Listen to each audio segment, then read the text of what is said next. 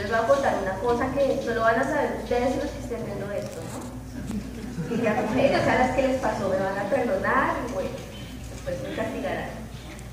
En esa época yo no participé en ese proceso porque ya estaba muy embarazada y no me dejaban subir a los aviones. Pero las compañeras que asistieron, había unas compañeras como de 50 años para allá, otras un poquito más jóvenes y guapas.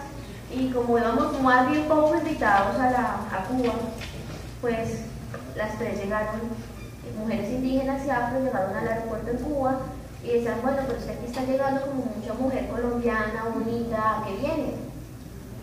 Y otros los funcionarios allá decían, no, es que las mujeres están llegando aquí como que a trabajar, como usted ya sabe, no lo que. Una de las compañeras, ya la más mayor, decía, pues yo, si a mí esta época me van a pagar uno halagado, ¿no?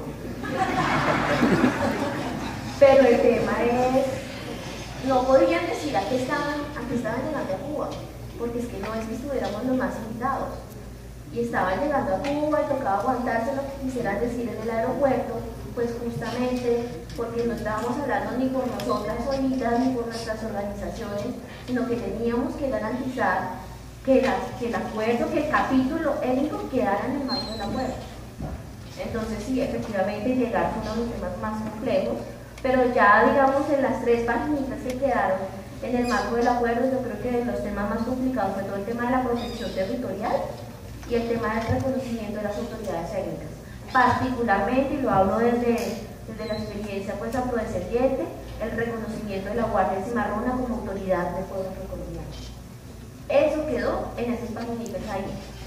Y eso fue una de las prácticas culturales que se perdieron y desaparecieron en el marco del conflicto en muchas zonas. Y que quedaran en los acuerdos era decirle al mundo, hay prácticas que son fundamentales en el desarrollo de la cultura afrodescendiente. Y el reconocimiento de la Guardia Cimarrona es una de ellas. Por eso un poco cuando vi que estaban los representantes de la Guardia Indígena, como siempre me siento muy orgullosa de verlos y de saber lo que estaban haciendo y la organización que estaban haciendo en el lugar, pero también me pregunté, ¿y dónde está la Guardia Cimarrona? ¿Por qué? Porque esa falta de representatividad pues es consecuencia de todo, de todo este conflicto, se ganó en los acuerdos de La Habana, pero es necesario hacerlo evidente en todos los espacios.